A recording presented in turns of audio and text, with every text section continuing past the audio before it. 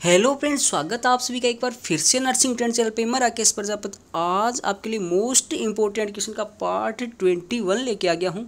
ये क्वेश्चन आपके specially C H O R R B railway, JIPMER B H U P J Rohtak आदि nursing exam में बहुत ही useful साबित होने वाले हैं। तो एंड तक इस वीडियो में साथ ज़रूर बने रहिए। वीडियो को अभी से लाइक कर दीजिए और चैनल को सब्सक्राइब करना और पास में जो बेल आइकन है उसको दबाना न भूलिए फ्रेंड क्वेश्चन फ़र्स्ट है, एक characteristics manifestation of rabies is rabies का करेक्टरिस्टिक्स मैनिफेस्टेशन क्या होता है?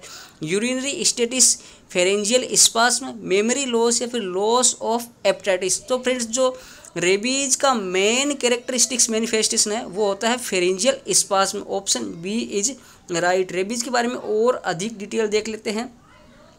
रेबीज नॉन एज हाइड्रोफोबिया पानी से पेशेंट को डर लगता है, इसलिए रेबीज को हाइड्रोफोबिया के नाम से जाना जाता है। Rabies due to infected dog bite rabies है, वो इन्फेक्टेड डॉग बाइट के काटने से होता है। Suitable site for ARV dog bite हो जाने पर एंटी रेबीज वैक्सीन लगाई जाती है। उसके लिए जो सूटेबल साइट है, वो होती है deltoid region system mainly infected rabies में जो मेनली सिस्टम इन्फेक्टेड होता है, वो होता है CNS central nervous system diagnosis made by presence अगर डायग्नोसिस है, वो बॉडी में किस टाइप की जो बॉडीज़ है, उनकी प्रजेंस के आधार पर बनाया जाता है। सेल्स के आधार पर पूछा जाए तो वो होता है निगरी बॉडीज़ अगर निगरी बॉडी सेल्स अपनी बॉडी में पाई जाती है तो जो रेबीज है, वो कन्फर्म माना जाता है। इमीडिएट ट्रीटमेंट क्या किया जाए? अगर किसी को डॉग बाइट हो जाए तो इमीडिएट ट्रीटमेंट क्या किया जाए? Wash the wound with soap and water सबसे पहले जो घाव हुआ है, उसको सोप साबुन के पानी से धोया जाएगा। नेक्स्ट क्वेश्चन है Hansen's disease is the other name for जो हैंसेंस डिज़ीज़ है, उसका अदर नेम क्या होता है? मलेरिया कोलेरा ट्यूबरकुलोसिस या फिर लेप्रोसी तो लेप्रोसी का जो अदर नेम है, वो हानसेंस डिज़ीज़ होता है। Option D is right leprosy का जो इंक्यूबेशन पीरियड है, वो होता है तीन से पाँच साल का। बहुत बड़ा इंक्यूबेशन पीरियड है, जो कि तीन से पाँच साल का होता है और कई बार तीन से सात साल भी इसको माना जाता है। कोजेटिव ऑर्गेनिज्म देख लेते हैं लेप्रोसी का। कोजेटिव ऑर्गेनिज्म होता है माइकोबैक्टीरियम लेप्राई माइकोबैक्टीरियम लेप्राई है वो लेप्रोसी का। कोजेटिव ऑर्गेनिज्म होता है। कई बार एग्ज़ाम में पूछा जाता है। इंक्यूबेशन पीरियड स्पेशली इसका पूछा जाता है। Pertussis is known as pertussis को किस नाम से भी जाना जाता है? Enteric fever whooping cough German measles या फिर रूबेला तो पर्टूसिस है, उसको वूपिंग कप के नाम से जाना जाता है। ऑप्शन बी इज़ राइट और किस नाम से जाना जाता है, वो देख लेते हैं। पॉजिटिव ऑर्गेनिज्म देख लेते हैं। पॉजिटिव एजेंट है, वो है बार्डोटेला पर्टूसिस पर्टोसिस का जो पॉजिटिव एजेंट या ऑर्गेनिज्म है, वो है Bordetella pertussis also known as hundred day cough hundred day cough के नाम से भी वूपिंग कफ या पटुसिस को जाना जाता है और बार्किंग कफ के नाम से भी जाना जाता है, कुत्ता खांसी कह के भी जाना जाता है। नेक्स्ट क्वेश्चन लेते हैं। Causative organism of syphilis is syphilis का जो कोजिटिव ऑर्गेनिज्म है, जिसके कारण सिफिलिस होता है, वो क्या है? माइकोबैक्टीरियम ट्रिपोनेमा पेलिडम, विब्रियो या फिर ई कोलाई जो जो ट्रिपोनोमा पेलिडम है, ये सिफिलिस का पॉजिटिव ऑर्गेनिज्म होता है option B is right syphilis के बारे में और कुछ समझ लेते हैं। Syphilis is a sexually transmitted disease STD होता है sexually transmitted disease syphilis. Diagnostic test इसके लिए किया जाता है V D R L venereal disease research laboratory syphilis के बारे में याद रख ले। सेक्सुअली ट्रांसमिटेड डिज़ीज़ है। ट्रिपोनमा पेलिडम की वजह से होता है। डायग्नोस्टिक टेस्ट है। Venereal disease research laboratory. TORCH infection include all except. TORCH infection है। उसमें ये सभी जो डिज़ीज़ नीचे दी गई, ये इंक्लूड होती है। किसी एक को छोड़कर। तो अपने को बताना है कि टोर्च में कौन सा इन्फेक्शन है, वो इंक्लूड नहीं होता है। ऑप्शन है रूबेला साइटोमेगालोवायरस टोक्सोप्लाज्मोसिस या फिर टिटनेस तो टोर्च में रूबेला इंक्लूड होता है साइटोमेगालोवायरस इंक्लूड होता है और टोक्सोप्लाज्मोसिस भी होता है, लेकिन टिटनेस है ये इंक्लूड नहीं होता है। और क्वेश्चन में यही पूछा गया है कि टोर्च इन्फेक्शन में कौन सा इंक्लूड नहीं है तो यहाँ पे ऑप्शन डी राइट हो जाता है टिटनेस है वो टोर्च में इंक्लूड नहीं है। टोर्च में और कौन कौन से इंक्लूड होते हैं वो देख लेते हैं। टोर्च स्टैंड फॉर टोर्च की फुल फॉर्म पूछ ली जाती है। जिसमें सबसे पहले आता है टोक्सोप्लाज्मोसिस, उसके बाद रूबेला, फिर साइटोमेगालोवायरस, एंड लास्ट है हर्पिज सिंप्लेक्स चार इसमें इन्फेक्शंस मेन आते हैं टोर्च में, toxoplasmosis, rubella, cytomegalovirus, and herpes simplex next question लेते हैं। The infection which is acquire from animal to human is वह इन्फेक्शन जो कि एनिमल से ह्यूमन में आता है एक्वायर होता है ऑप्शन है प्लेग पोलियो पर्टोसिस या फिर मलेरिया तो जो प्लेग डिज़ीज़ है इन्फेक्शन है, ये एनिमल से ह्यूमन में आता है। Option A is right causative organism जो प्लेग का है, वो कई बार पूछा जाता है। ये है येरसीनिया पेस्टिस येरसीनिया पेस्टिस है, ये प्लेग का पॉजिटिव ऑर्गेनिज्म है और रेट्स के कारण ये होता है। रेट चूहों के अंदर ये पाया जाता है। काला एजार इज़ ट्रांसमिटेड बाई, काला एजार है वो किसके द्वारा ट्रांसमिटेड होता है? फैलता है।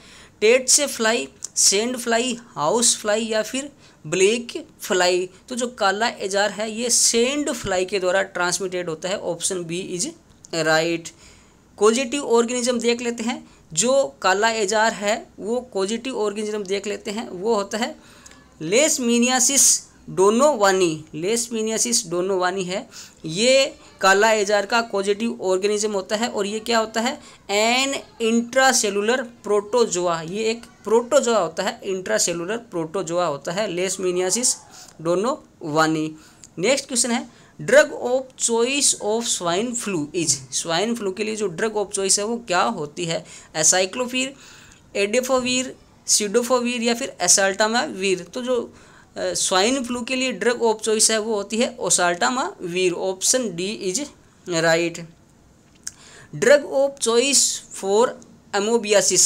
Amoebiasis amoebiasis के लिए ड्रग ऑफ़ चॉइस है। पेनिसिलिन जी, क्लोरफेनिकोल और डेक्टिनोमाइसिन या फिर मेट्रोनिडाजोल। तो जो मेट्रानिडाजोल एंटीप्रोजोल ड्रग्स होती है, ये अमीबियासिस के लिए ड्रग ऑफ़ चॉइस होती है। Option D is right sleeping sickness is caused by sleeping sickness है। ये किसके कारण से होती है? ऑप्शंस दिए गए हैं। Black fly tsetse fly house fly या फिर मॉस्किटो तो जो स्लीपिंग सिकनेस है, कई बार एग्ज़ाम में पूछा गया है, ये टेट से फ्लाई के कारण से होती है। ऑप्शन बी है, वो राइट होता है। In following which communicable disease is also called German measles निम्न में से कौन सी कम्युनिकेबल डिज़ीज़ है? इसको जर्मन मिजल्स के नाम से भी जाना जाता है। ऑप्शंस देखे हैं मम्स रूबेला डिप्थीरिया या फिर पर्टोसिस तो यहाँ पे जो रूबेला डिज़ीज़ है, उसको जर्मन मिजल्स के नाम से भी जाना जाता है। ऑप्शन बी है वो राइट होता है।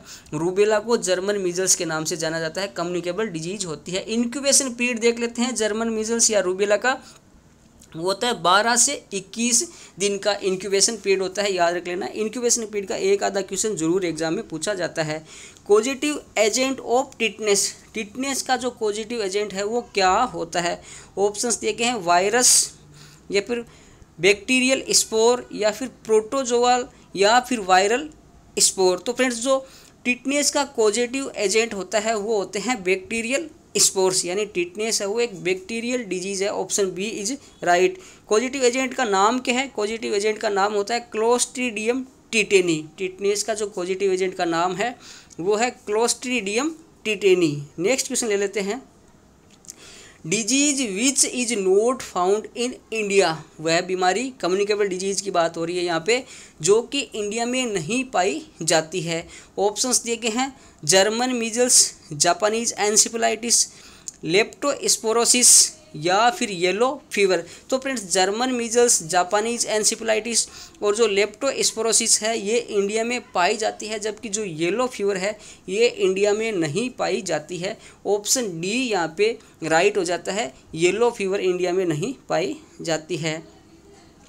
The mosquito that breeds mostly in artificial collection of water वह है मॉस्क्यूटो जो कि वाटर का जो आर्टिफिशियल कलेक्शन होता है, उसमें ब्रीड्स करता है, उसमें अपने अंडे देता है। कौन सा मॉस्क्यूटो है?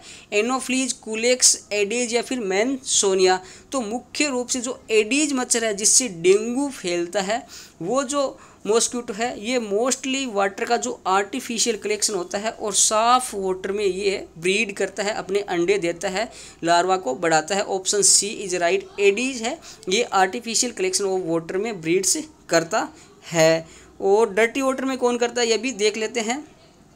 यहाँ पे लिखा गया, देखो Aedes breeds in artificial accumulation of water such as water in discarded tins tins में अगर कोई पानी हो जाए broken bottles flower pots, coconut shells, tree holes, इनमें अगर पानी रह जाए, साफ़ पानी होता है तो वो उसमें एडीज मच्छर है, वो ब्रीड्स करता है।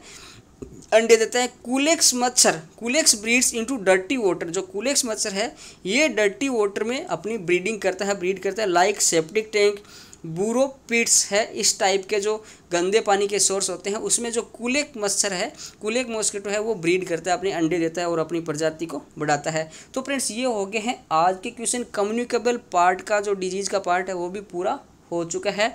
आई होप वीडियो पसंद आया होगा। वीडियो को लाइक कर दें, चैनल को सब्सक्राइब करना और पास में जो बेल आइकन है, उसको दबाना कभी ना भूलिए फ्रेंड्स। Thank you friends.